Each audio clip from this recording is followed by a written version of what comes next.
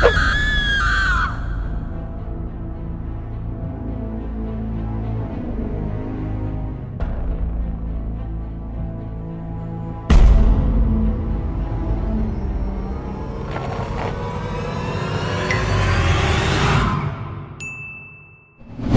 family! Welcome back to Anything Alexia. My name's Alexia, and today we're gonna be looking at some statues that were caught moving on camera. But if they're a statue, how were they caught moving? Unless they're cursed or something! Or alive. Family, smash like on this video. Let's get this video to 8,000 likes. And comment down below if you've ever seen something moving that should not have been moving. Like your peanut butter sandwich you just had for lunch.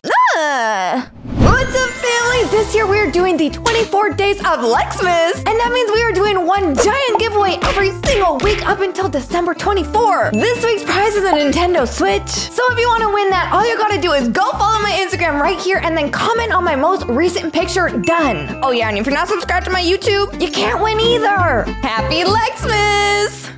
This is an ancient Egyptian statue called Neb Senu, and it's located in a museum in Manchester, England. The statue just sits on a regular shelf in the museum, minding its own business. Actually, apparently not. Apparently not at all! Because this dude named Campbell Price, who works at the museum, said that he saw the statue moving! And not just moving a teeny weeny bit. Apparently, the statue was doing full on spins and twirls. Like, dude, I thought you were supposed to be Egyptian, not a ballerina! That's the statue right there. it is moving! Oh my gosh! And did you notice, family, how it stopped moving when the lights in the museum went off? Why did it do that? I guess if the statue's actually alive, then it gotta go to bed just like the rest of us. Let him get some rest, jeez. He clearly needs his beauty sleep. Cause if he doesn't, he's just gonna end up getting buried in the coffins like the rest of the mummies. At least he'll be in a cool pyramid though. Epic.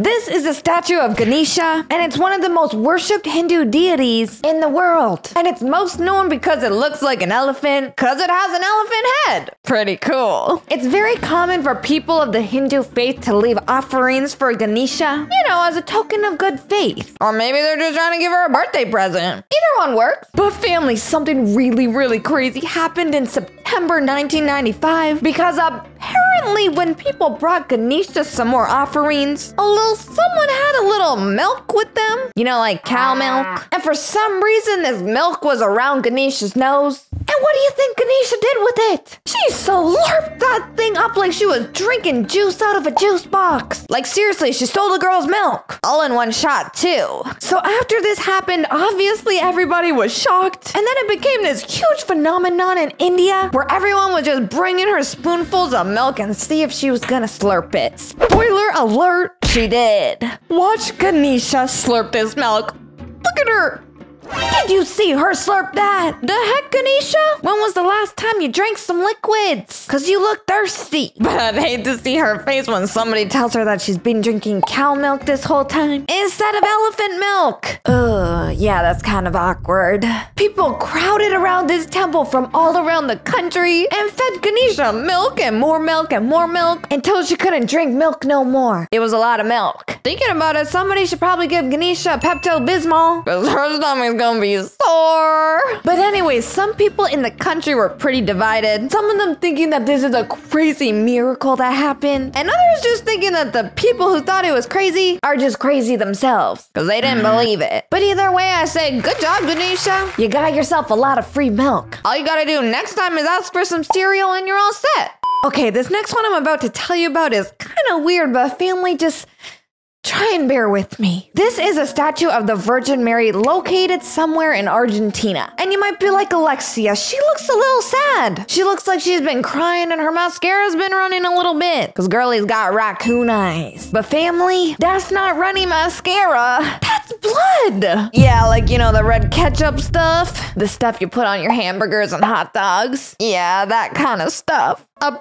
Apparently, this cursed statue has cried real blood. Not once, not twice, not five times, 38 times. Like, what the heck? That's weird and creepy and did I mention weird? I don't know what boyfriend hurt her so bad that she has to cry out ketchup from her eyes 38 times. But sounds like lady's traumatized. Or maybe just really likes ketchup. Just think, whenever she orders nuggies now, she never has to ask for dipping sauce because she already got it on her face. It's called caring about the environment. Zero waste. Mhm. This is live footage of the dog crying out that ketchup. And you can see there's literally nothing else around the statue that could be putting the blood there. Nothing's crying all by itself. This statue is owned by the Frias family, and apparently they say the statue is not actually cursed and that it's actually a miracle? Huh? One of the family members spoke out and said that the statue was actually given to her after she suffered a miscarriage. And then since April 2017, the doll just would not stop crying the blood. This leading to people from all around the world coming to try and see the statue crying in action because they thought that it would bring them good luck. Y'all think that's crazy? Well, think again, family, because apparently this statue cured people of some tumors, cancers, and all other sorts of bad stuff. Like maybe their hunger too, because they might have got a lick of that ketchup on her face.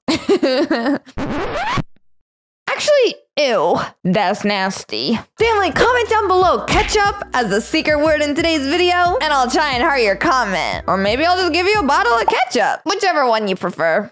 Here are some very creepy statues at the bottom of the ocean in Grenada. And apparently they just keep multiplying and multiplying. And more of them just keep popping up in the ocean every single day. And apparently they're all so alive too. This dude, Jason deCaires Taylor, decided that he wanted to build an underwater sculpture garden where he built these statues and instead of putting them on land, he buried them in the ocean. I mean, why have people see them anyways when they can just be sucked on by fish instead? So they kept making more and more statues and the garden got bigger and bigger. And the garden actually became so popular that different scuba divers would specifically dive to this location so they can see all the cool creations. But then over time, the statues started growing all these weird underwater fish stuff on them, like algae and other stuff like that. And then apparently that's when the statues actually started becoming alive. Ooh. I mean, look at this picture of this statue. I can't tell if that dude grew two eyeballs or if it's just two giant fish eggs. Hmm, I'll have to double check that one. This is the golden blinking Buddha from Malaysia, and apparently somebody caught him on a phone camera, blinking his eyes, moving his lips, and even breathing. But the thing is, apparently they caught it back in 2011, and let's be real, back then the phone quality was garbage. So from the footage I'm about to show you, it's kind of hard to tell if he's actually blinking or it's just from all the pixelation of the video. This is the video right here, family. I don't know, you tell me, do you think this blinking Buddha is actually blinking? Or do you think it's just crummy video quality? I swear I think I just saw him blink. But actually, I don't know. But maybe yeah. But I don't know. Oh, don't ask me, family. I'm not sure. Let me know in the comments what you guys think if he was blinking or not blinking. But anyways, family, that is all of the video I have for you today. Don't forget to enter my 24 days of Lexmas where you can win an iPhone 13 or a Nintendo Switch. All you gotta do to win is follow my Instagram down here and comment on my most recent Instagram photo done. I love you all so much, and I'll see you all in the next video.